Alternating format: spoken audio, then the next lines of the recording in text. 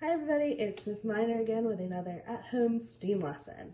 So today's lesson we are going to talk about chemical reactions. And to that we're going to do a fun experiment called elephant toothpaste. So this is a very fun experiment but it can also be very messy. So make sure you're doing it in a space that is easily able to be cleaned up. The first thing we need is yeast. We need dish soap. Any kind should do the trick. I have Dawn hydrogen peroxide. Uh, I have 3%, that's usually what's recommended, but you can do 6% if you'd like and see what the different reaction would be. We need a bottle or a glass or a jar to do our experiment in. A I recommend a tray of some sort to contain the mess as much as possible. A half of a cup measuring cup, a tablespoon, a small bowl and funnel, and if you don't have that, just a one cup measuring cup will do the trick. And we need warm water, and an optional step is food coloring. So you don't necessarily have to use this, but it does make it a little more fun. So let's get started. So, first step, we need to get our extra bowl uh, or measuring cup, and we'll need three tablespoons of warm water. So let me just get that over here. So the warm water is going to help us activate our yeast. We don't want it to be too hot because that will end up killing our yeast. And if our yeast is dead, it's not going to work as well. So take your one packet of yeast, open it up, maybe, and put it in your warm water. The whole pack. And we just want to stir it just a little bit for a few seconds just to get it all mixed in there. Okay. Next, we're going to take our half cup measuring cup and our measure out half a cup of hydrogen peroxide. So just half a cup of peroxide and we're going to pour that into our container. Okay. After that, we need our tablespoon again, and we're gonna get one tablespoon of our dish soap and pour that in our container as well. This is gonna give us that foamy reaction that we want.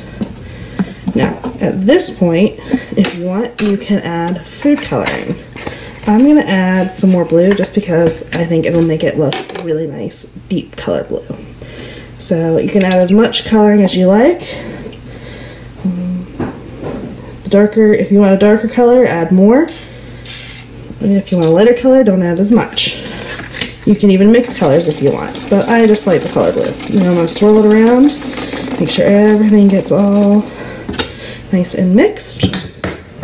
Now, the next step is we're going to take that yeast that we had waiting on the side and we're going to put it in our container as well.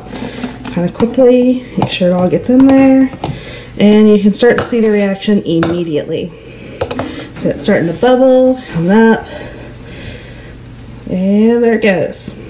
So this is a chemical reaction. What we're seeing here is the result of the hydrogen peroxide breaking down into water and oxygen gas. Now, the reason we use the yeast is the yeast acts as what's called a catalyst. A catalyst is what you add to a chemical to speed up the reaction. So, there is something in yeast called catalase, and when added to hydrogen peroxide, it speeds up the breakdown of the hydrogen peroxide, which is what makes our foam happen because the breakdown happens so quickly. All that oxygen that's being taken out of the peroxide is getting trapped inside the soap, forcing its way out of the bottle and into foam. So each little bubble in here is full of oxygen. Now, if you touch it, it should feel warm. Now, the reason it feels warm is what's called a exothermic reaction. Now, exothermic reaction just means that it has produced heat. So our action not only produced foam, but we've also produced heat.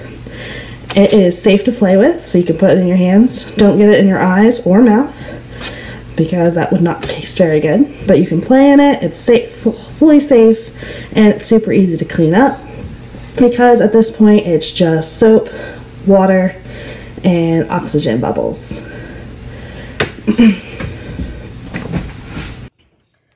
so that is our experiment for the day. So we talked about chemical reactions, how what catalysts do, uh, how catalysts help break down chemicals and speed up their reactions. so a few things to think about in this lesson. How could we change our reaction? Could we add something to it, take something away? Would that change it? Would the size of the container that we put the chemicals in change the reaction? Uh, would more yeast change the reaction? Would a different type of hydrogen peroxide make the reaction? Could we completely take out the yeast and still get the same reaction? Those are just some things that we can look at. So if you want to do this experiment again and try different combinations of hydrogen peroxide and water and different things, then you can do that as well. I hope you enjoyed this lesson for today, and I will see you all next week with another lesson.